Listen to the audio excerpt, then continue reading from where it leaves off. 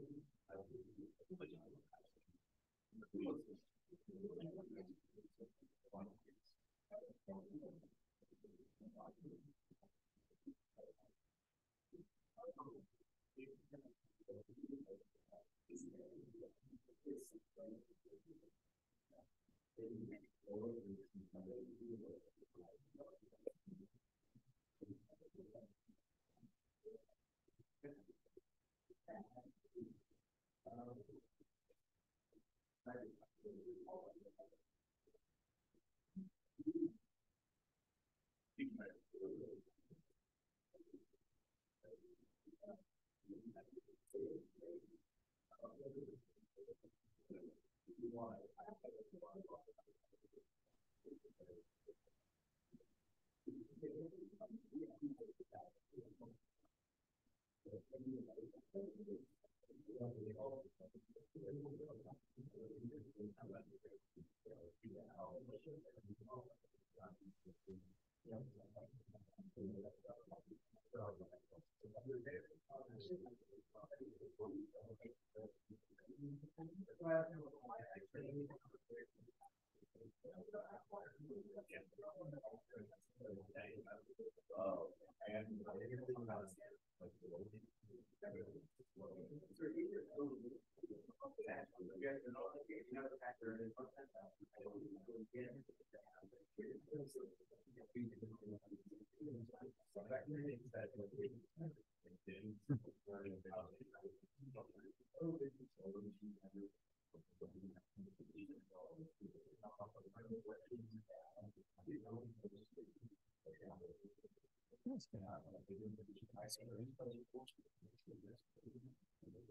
All right, I'm gonna get started. Um, yeah, so exam next week, Wednesday, uh, exam review this Sunday. Just reminder, most of you have probably heard this, but just in case. Um, additionally, yeah, so this week we actually don't have a lot of material, so you should have uh, some time to study basically this week. And the exam material ends this Friday.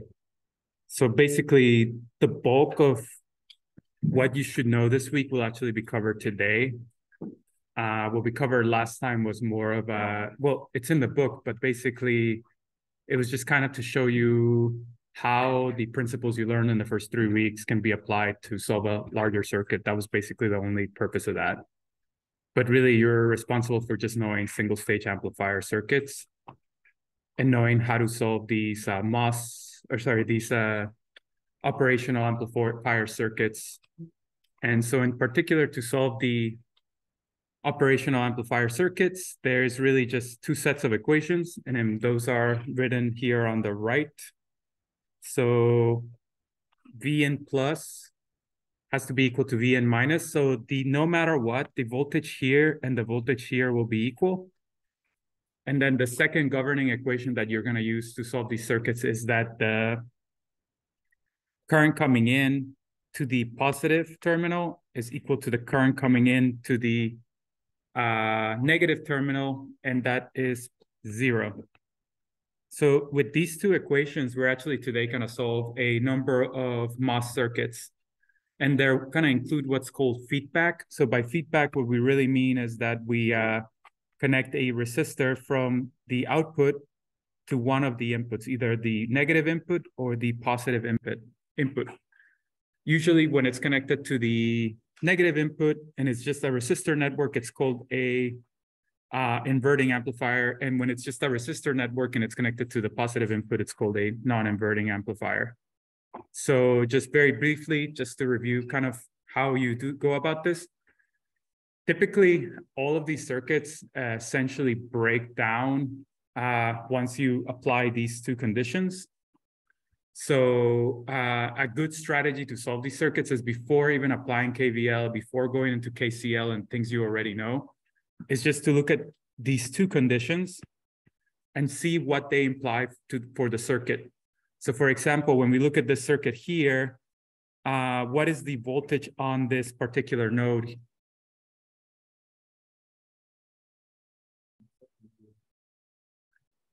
Yeah, so basically because Vn plus, so the, the current coming into the positive terminal has to be equal to the positive the terminal, the voltage coming into the negative terminal. And because the positive one is Vn, that means that this voltage here will actually be Vn. Additionally, uh, we also know that how much current flows into here and here based on these equations. Yeah, so no current flows into the circuit. So at this point, we haven't used any of our circuit solving techniques, and we already know a lot about the circuit. So we know that this branch effectively has I equals zero, so it's open circuited. And we know that the voltage at this node has to be Vn. So just from that, at this point, uh, now we actually have, since we've already applied these two conditions, now we actually have to go into the circuit and actually solve it. And to do that, uh, and simple way is just to do nodal equation, a nodal equation here. And what that tells us is that all of the currents coming out of the node have to sum up to zero. And in this case, kind of the current going out of this node is uh, V in over R in. And the current coming out of this node would be V in minus V out over RF. And all of that has to be equal to zero. Note that this triangle that's not, uh, really means ground. That's a notation from the book. So that's why it's just V in. This should really be V in minus zero. Okay, so is everyone kind of getting this so far? Yeah, cool. Yeah. So when you say the current zero, it's about the current that's going like into the lead or just like in total in the whole? office. The current coming into here is zero. The current coming out of here is zero. And uh, the current coming out of here is actually somewhat that undefined. I So basically, you can't really write a nodal equation here because the current here is the, the current I out adapts to allow you to amplify. And so when you write an equation here, you basically say get that I out equals V out minus V in over RF. Uh, it's so you you inherit an unknown and uh, and you don't really like uh, there's no other equations for i out. So it's really a an equation that's useless to you unless you want to know what i out is in some sense. It's just gonna add an extra equation and an extra variable. So it's not gonna get anything for you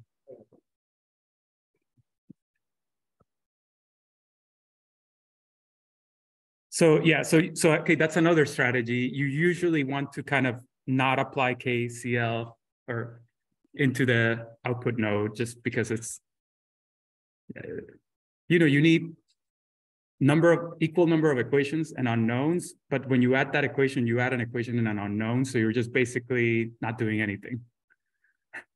So it's a, it's kind of a waste of time to some extent, unless they're asking you for IO explicitly, then you have to use get that equation. Okay, so at this point, you just have to do some algebra. So you move V out to the other side, and then you get that V out over RF equals one over R in plus one over RF V in. And then to get the gain, you just say that uh, A is equal to V out over V in, which equals one plus RF over RN. So this is a circuit we covered in the last lecture, and this is more of a review. So that's how you would solve these particular circuits. And in the next slide, basically, I repeat this. So this is what's called the differential differentiating amplifier. And I, I guess I have a question for all of you. Did you go over current voltage relationships for capacitors last semester? Okay, so you all know that the current across the capacitor is equal to C, the capacitance, D BT. Uh, you had a question? Or you're just stretching? Okay, cool. All right, so at this point, to solve for this differential differentiating amplifier, uh, the first thing you do before you even go into these IV relationships is just uh, use your knowledge of operational amplifiers so you know that this is grounded. So what does that tell us about the negative non-inverting terminal? Yeah, so the non-inverting terminal will be zero because uh, these two voltages are always the same. So now we know the voltage here. Additionally, what is the current coming into this non-inverting terminal? Zero. So that means that this nodal equation will only have two terms, current coming this way and a current coming that way because the third current is just zero. So at this point, basically now you just write out the uh, nodal equation. And uh, so from 2K1, you know that I the capacitance current is actually Cn dV dt. And so we're gonna have basically uh, da, da, da, Cn times the derivative of zero minus Vn, because it's the voltage from uh, this node to this node plus, oh, uh, yeah. Okay, plus, uh, okay, oh yeah. V out minus V in divided by RF has to be equal to zero. And so in this particular case, we can just uh, move all the V out terms to one side so then we're back to kind of the same kind of analysis where we're going to get basically uh, C in D dt of V in negative minus V in over RF equals negative V out over RF.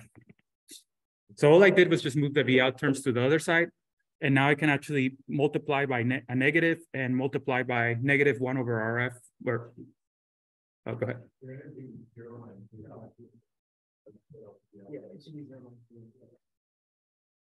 Oh, whoa, whoa, whoa, whoa, whoa,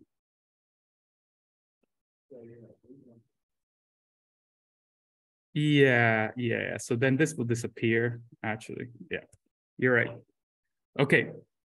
Yeah, so this is zero minus V out because I'm simply looking at the voltage from here to here.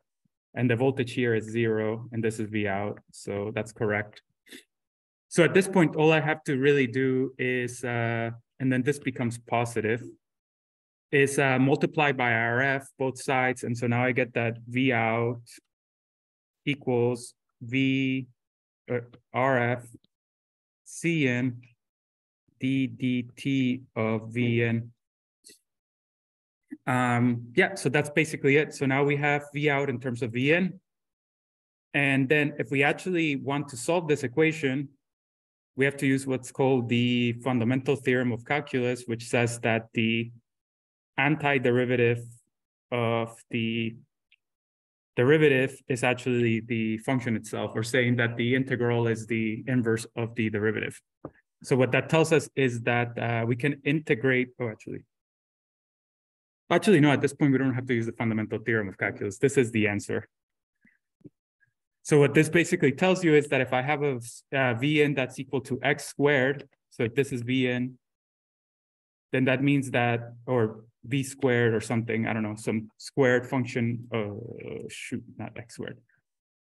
A variance of t, so a function of time that's t squared, then v out will actually just be equal to rf c in times 2t because the you just have to take the derivative of v in. So I'm doing this because actually this is uh, something that used to be you. This this is this these were like our old school calculators.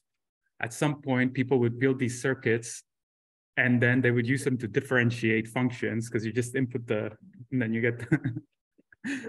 so yeah, so that's kind of a they're called analog computers, and so there's like integrators and all these other, and you can form all kinds of functions using these kinds of things. I mean, it's it's not very uh, good, but yeah, it's just his, it's a it's a historic uh, uh, what do you call this? Yeah, something that people used to do, which is kind of weird, but anyway. So yeah, so that's the solution to this. So oh. Uh, oh.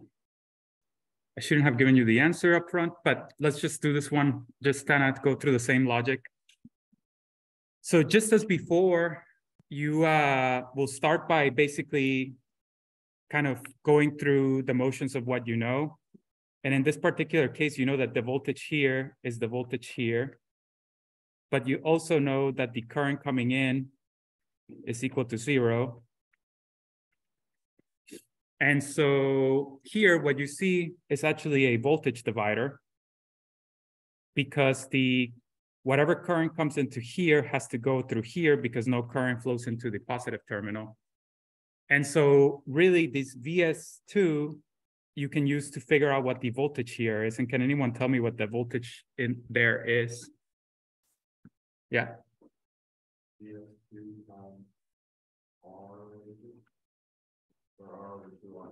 Yeah, yeah, yeah, exactly. So basically it's just VS2 divided by R plus R which is actually the current flowing through the circuit times R, that gives you what the voltage here will be. But then the R's will cancel, and so you just get VS2 over 2. So that's kind of what this equation is. Okay, so now you know VS2. That means that you also know what this, sorry, you know what this uh, voltage here is. It's just VS2. And uh, now you just do another nodal equation. So you have oh, sorry, this is VS2 over 2. So to figure out the currents coming out, you just have VS2 minus VS1 over R. So the voltage here minus the voltage here over R. the voltage here minus the voltage here over R equals zero. And then you can rearrange things and you get that the output is actually the difference of the two voltages. Yes? So what's the end value of all of these? Usually the output in terms of VN or the ratio of the output to the input. That's kind of what you're interested in. But in a in an exam setting, right, we would tell you what is IF. Uh, I mean, once you know what V out is, then you can find IF because you just do the voltage drop and uh, and and usually your assumption is that you either know the you, you're gonna here we're doing it in equation form. When you're doing things in equation form, usually you're gonna assume that the dependent variables are your inputs. So you would always solve in terms of VS1 and VS2 because that's what's actually been input into the circuit. And what's being outputted is actually the equation that you want to write in terms of those two things. But in if you're given actual numerical values, then it's kind of implied by the numerical values, which should be the ones on the left, on the right-hand side of the equation. Go ahead. Um, I'm a little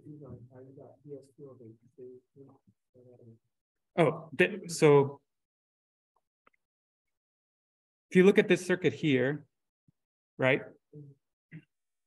The there's really one if a current coming in here, there's only one place it can go is here because remember no current flows out. Mm -hmm. And so the current I, capital I going through here is actually just equal to VS2 over R plus R because that's the voltage from here to ground. So it's just dropping through the two resistors. So it's just a voltage divider basically. So see here how it's, uh, here it's VS2 and here it's zero. And then between the two, there's two R, R plus R. And so that the current is just uh, the voltage divided by the resistance. So that's where you get this term. But you're actually interested in the voltage drop from here to here. So you multiply by R to get what the voltage is.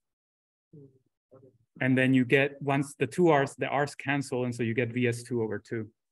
Or basically, because these two resistances are the same, half the voltage drops across each resistor. Go ahead.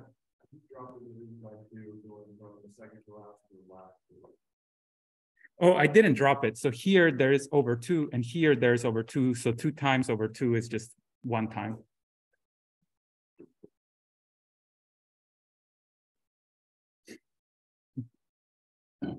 Okay, cool. So no other questions? Yeah. So in that, like you just did to get DS over to like the multi is there is there a non-zero current there, or is there still the current there? There's no current coming into this into this node. That's the only thing you know. But that just turns this into whatever comes in here has to come out of here. I, I mean, okay. Yeah. But, so there could be like current in like the other part of it. It just can't be going into the fence. Yeah, yeah, yeah. Imagine imagine a room, okay, and there's two doors, okay, and so this current is coming through here. So the so you can see the two the, the two openings. There's two openings, and the current coming into here can see but it just it turns out that one of the opening has like a wall or barrier. And so really there's only one opening because you can't, although you can't see that the, you, you think that you can go through that opening, you really can't. And so all of the current must flow down through here because there's that wall. And so there's just nowhere else to go. And so even though it looks like here, there's actually like a junction of three things, there's really a junction of two things. just just just imagine like you're coming into this thing and then so then you just kind of like turn and all right that's that's really actually all this like kcl is saying you know if, if you come in through one door you're going to come out of the other door. And if two people come in through one door they're going to come out. And depending on which door they choose well they have to choose a door. If they like uh the that's all it's saying. What comes in has to come out. Like there's no magic to this or, all right. And in this case, nothing can come out of this door because there's a glass barrier.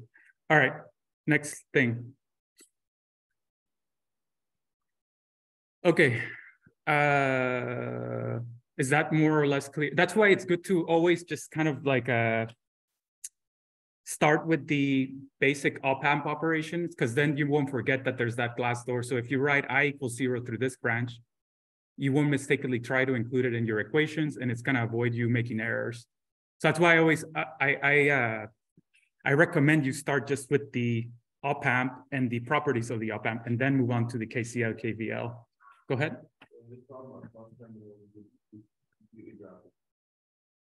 Yeah, exactly. So this is kind of a gotcha problem because uh, as there's no current flowing here, I equals zero. And so that means that there's no voltage drop across here. So if I put a one mega ohm resistor here or a 10 mega ohm, anything, the the voltage will be the same because no current ever flows in. Yeah. But you would automatically know that if you just say, okay, what is the voltage here? Okay, V plus, and this also has to be V plus. What is the current coming into here? Oh, zero. What is the current here? Zero. And then you're like, oh wait, no current can flow through here. Oh, this must be ground. Therefore, this must be ground. And now you're ready to solve the circuit. Does that make sense for everyone or? So, yeah. Yeah, I mean, I'm supposed to spend three classes on this and uh,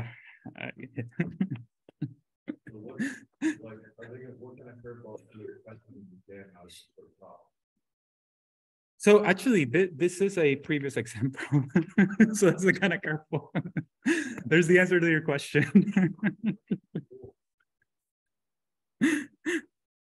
I think this is in one of your previous exams.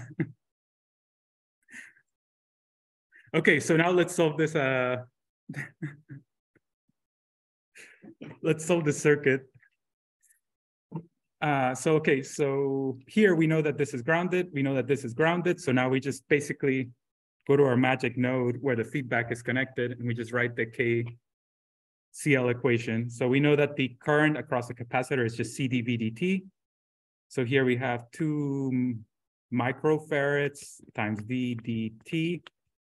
And if I can do this math right, it's zero minus Vn, zero minus Vn.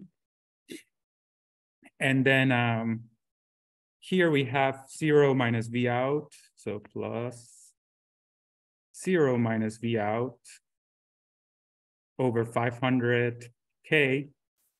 That has to all sum up to zero. So that's your KVL equation.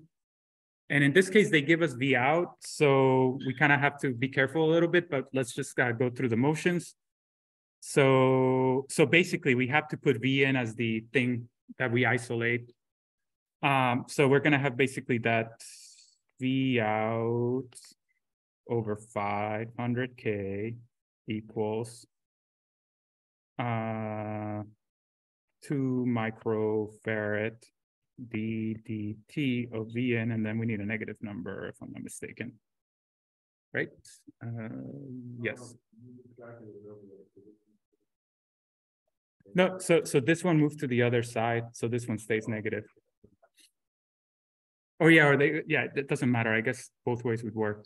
Okay, uh, at this point, since we know V out, we actually need to, uh, divide out by two microfarads. And I can't divide, so I'm just gonna look up the answer. Oh, well. So we basically have here uh, da, da, da, V out divided by five times ten to the five times two times ten to the six, uh, which is just equal to one. Yeah, yeah, so negative. And then now we have d dt of Vn. So we multiply this out and this is just, so two times five is just ten. And oh, and this should be ten to the negative six, sorry. So the powers cancel, and so actually this is just one, which is kind of nice. And so now all we have to do is solve this equation, and now we need the fundamental theorem of of calculus, which basically says uh, that uh, the integral of the derivative of f is actually just equal to f. So that's the fundamental theorem of calculus, and so then we uh, will uh, use that to differentiate to basically solve our function. And I'm just gonna go to the next slide at this point because the the uh yeah, that that we're at this step right now. And uh, now we want to find v-ins of t. So now we integrate both sides of the equation because we know v out. And it's telling us to assume that v-ins of zero equals uh, three. And so when we integrate this side, the integral and the derivative cancel. Uh, so we're basically going to have the integral from zero to tau, v-ins of tau, or sorry, from zero to t, d tau equals the integral from zero to t of v out of tau d tau. And so here on the left-hand side, oh, sorry, d dt. This is actually just a v in of t minus v in of zero, and we were given v ins of zero. And now v out, this integral here is just actually three sine tau d tau, which if I know how to integrate, that's just negative cosine of so zero to t. So that's just negative cosine. So we're going to get three, negative three cosine tau evaluated at zero and t. Is that clear how I got this of the question? No. Are there questions at this point or yeah? That's that's why we had we needed the initial condition because once you put limits in the integral, you don't have a, a constant. Um, so since we know that the arbitrary constant is really v ins of zero, but we were given to us what the value is. So as you saw, I integrated both sides from zero to t uh, because I know what vn is at time equals zero. And so on the left-hand side, I got vns of t minus vns of zero. And on the right-hand side, I got this function evaluated at zero, well, the derivative, the integral of this function evaluated at zero and the integral evaluated at t. And so now you can basically go through the, this is where we were in the last uh, slide. And uh, now you plug in t and zero. And so now you get that uh, v-ins of t. So cosine of uh, zero is actually one. So you have negative three, but then you have negative three here because we were given the initial condition. So the negative threes cancel and you're just left with v ends of t equals three cosine t. What? What happened to the negative sign in front of the negative Uh, I moved it to the other side in this slide, so you see it right here. So it's still negative. So, oh, so the negative here, and I just ended up putting it there when I wrote it uh, in the in these particular slides, but it's still there. Is there any other questions or?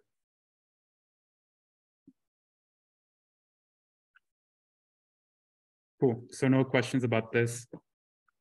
All right, we have 20 more minutes to learn op amps. Actually, we have an hour and 10 more minutes to learn op amps, but yeah.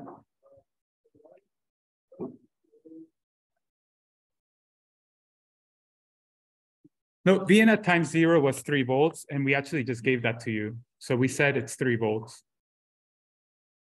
And that's per that's just to avoid the constant that uh, one of your classmates alluded to. Uh, so you would have to be given an initial condition of some sort to solve this problem.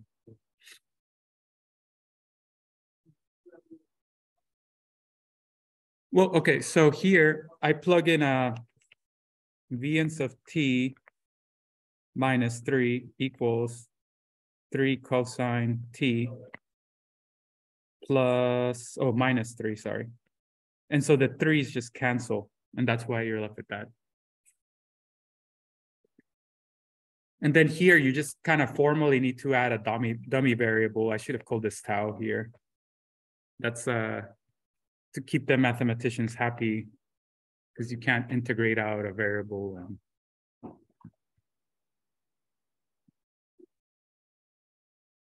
All right. Uh, yeah. So now let's let's go through another example. So I, I guess before I do this, do you show of hands, how many think that I should next class do more examples or maybe go into nonlinearity? More examples? Okay, okay, so, okay, I'll do more examples. I just find these really boring. I don't know if, because it's just like the same thing over and over and over again, and it's just like, like it's always gonna be this node. It's always gonna be i equals zero. It's like, give me one where i doesn't equal zero or like, anyway. All right, so what is the voltage at the negative terminal? Zero. Okay, so it's zero, and then no current ever flows out of here. So now we know that this is zero. And so now let's do this nodal equation. So again, so now to find the VA, well, VA equals zero.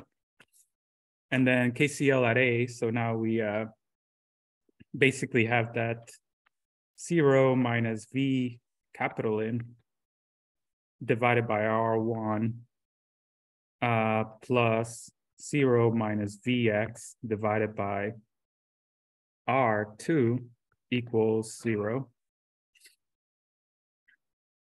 Um, yeah, so that allows us to solve for Vx in terms of Vi. So we can say that, uh, am I wrong here?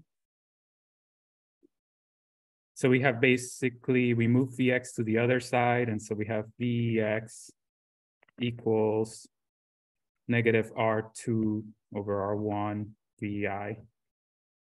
So all I did was move this to the other side and then multiplied by R2 to get this equation. Is that clear or do people want me to explain this further?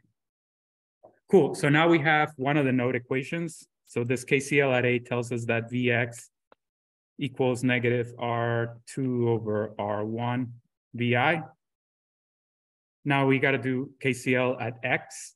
So another KCL. So as you're studying, you uh, kind of get the idea of what the important things are. Basically, if you know how to do Thevenin resistances, you basically know how to do compute R in, R out, omega low, omega high. So I brush up on those skills because it's just every every almost 80% of the stuff we've done is just Thevenin resistances. The only other thing that we've done is gain, and now we're doing KCL at nodes, and that's basically it. So if you're good at KCL and you know how to compute R Thevenin resistances, you're in a you're in very good shape, basically. Uh, okay, so now let's do this nodal equation. So we have Vx minus zero, Vx minus zero divided by R2 plus Vx minus zero divided by R3 plus Vx minus V out divided by R4 equals zero. And so now we can actually write this in terms of Vx. So we move the V out to the other side and multiply by R4. So we have one over R2 plus one over R3 plus one over R4 Vx is equal to V out over R4. And then we multiply out by R4. So this R4 kind of gets distributed out. So now we have R4, R4, and this becomes one. And now we can just basically plug in the VI here, or we can plug this in for Vx and then we get the total gain.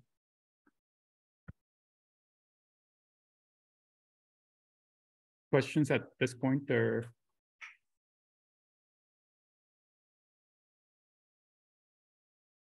Cool. All right. So that's kind of the, so that's equation one that we derived. Then this is the second equation. Wait, what? Oh yeah, this is the second equation we derived. Um, I just left the VI here and I left the R4 here, but. So now at this point, you just basically, for Vx, you plug in this uh, times Vi, and then, yeah, that's how you end up with this equation here. Yeah, so that's another example of operation amplifier. So let's go through one more example, and I actually haven't prepared a solution for this, so we're gonna go through uncharted territories. So just uh, how much current flows into this terminal? Zero, okay. Here, okay, cool. So can anyone tell me how you can determine the voltage VA or VB?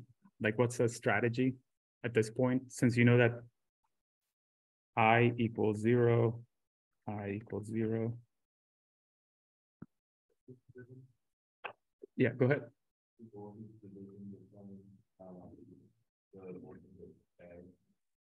Yeah, exactly. So at this point, you, since no current flows through here, there's that glass, whatever door or whatever. That means that all the current has to flow through that little branch and that third branch does nothing for you. And so you can just do a voltage division here. And uh, it's a bit more complicated because as you can see here, the negative terminal of VF is here. So, and the positive terminal of VF is here.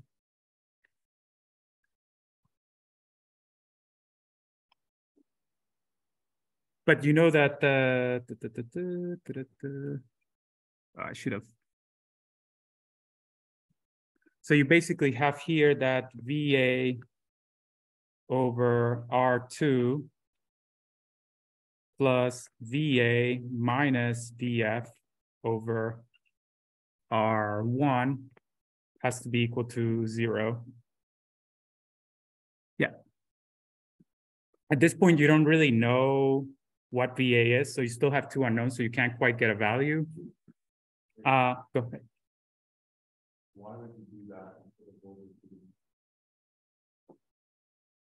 Uh,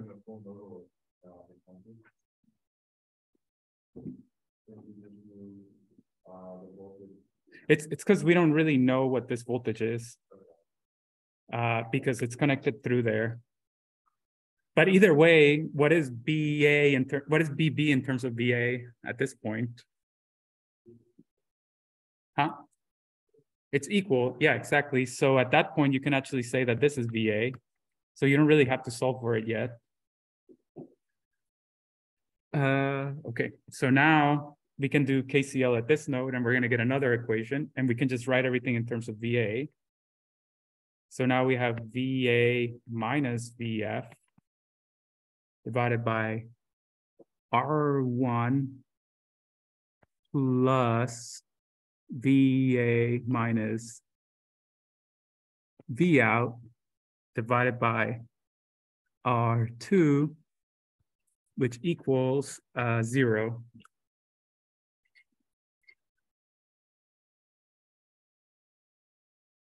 So in this particular case, you can basically now um, get rid of the VF because uh, da, da, da, so you can either-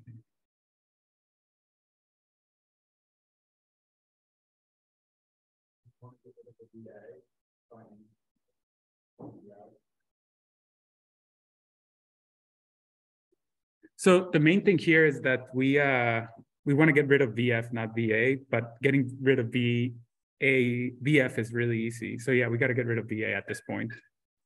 Um, and so you basically have to solve this equation for VA, plug it into here.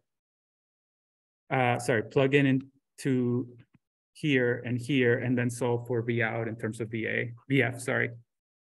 So you got to get rid of VA basically, and so you got to write VA in terms of VF, and then you're done. Go ahead.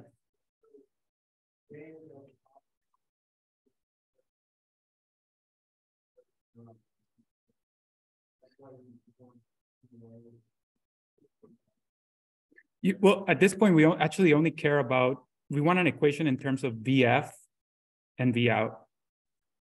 Uh, but we have two, and in this case, we can actually do that. So in this case, we can solve for, in this case, at this point, you're in algebra because you have two equations and you have three unknowns. So we just solve for VF in this equation. So now we're gonna get basically that VF equals uh, negative one over R two plus one over R one. Uh, VA. And, uh, right, so I just moved it to the other side, and now I have to multiply by R one, so this is over R one, sorry. And so now here. Oh, did I do this backwards? Yes, I did this backwards, sorry. We wanna write VA in terms of VF, sorry. Uh, So we're gonna have one over R one plus one over R two. VA equals VF over R one. And there should be a negative sign or no? Yeah, so then what we're gonna get actually is that this implies that V F equals R one in parallel to R two divided by R one VF. Sorry, VA, VA, VF, yeah. And now, once we have this, now we can just plug this in here to get rid of VA, plug this in here to get rid of VA. And then that's gonna give us an equation for V out and V in. Okay, go ahead.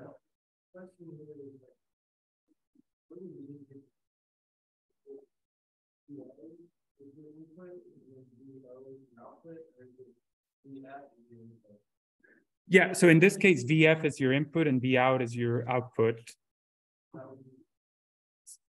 Yeah, and VA is really an intermediate, intermediate variable that you need to get rid of. But once you have two equations, you can get rid of one variable and the one you want to get rid of is VA. Uh, but at this point, it's just basically doing some algebra. Uh, but cautionary tale, you saw how much I fumbled doing this algebra once I hadn't previously solved it.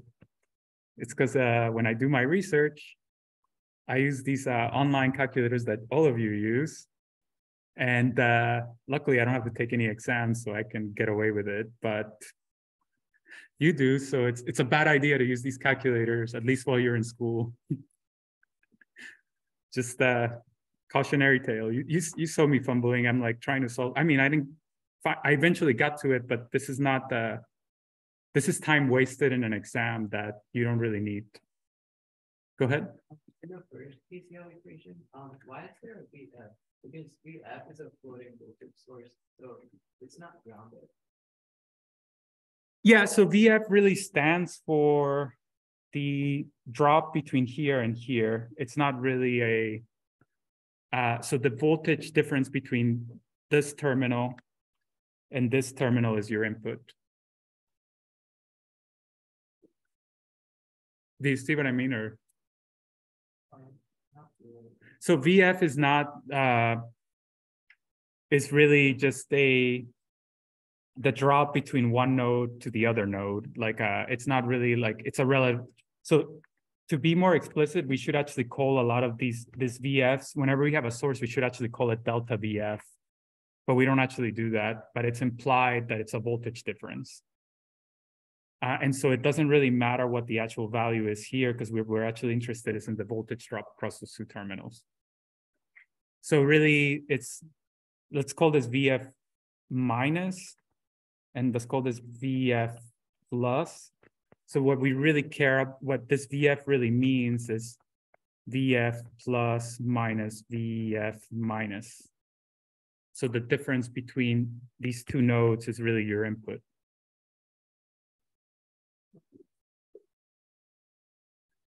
Okay, I'm not gonna solve this because I just don't wanna embarrass myself like that, but all you have to do at this point is just plug this in here, do a little bit of algebra to isolate the VO, and then you get your answer. Um, and also we only, well, we have five minutes, so I think, are there any more questions?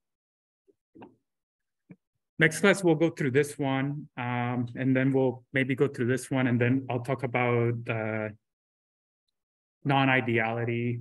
Uh, that's actually a quite a short part, but go ahead. We expect the test to be either similar, if similar, will not do last year's or the test.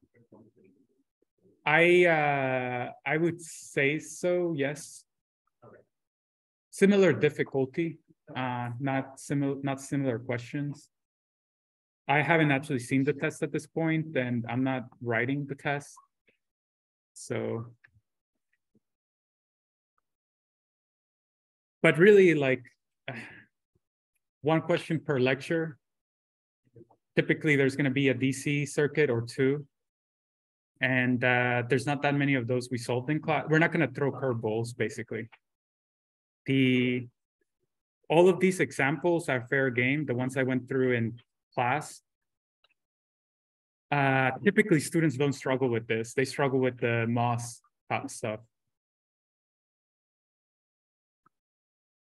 Uh, go. Any other questions? I will, I will send a review today, by the end of the day today. So I, I usually send a review packet. It's just that I haven't had time to update it, but I will send it out today.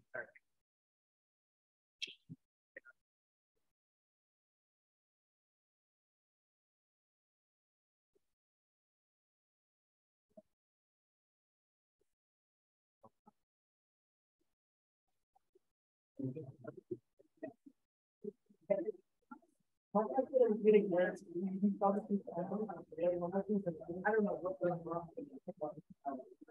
Okay, maybe you told me that, maybe, yeah, it's like. And what? Okay, so it's a game is now over here, but for the open, you have two vehicles. So which one should I consider? So the, the